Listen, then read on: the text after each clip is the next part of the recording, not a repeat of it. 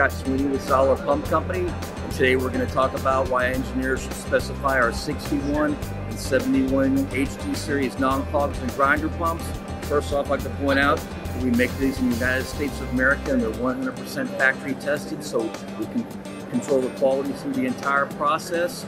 We start the pump off with a heavy duty epoxy powder coated finish, which makes it extremely corrosion resistant.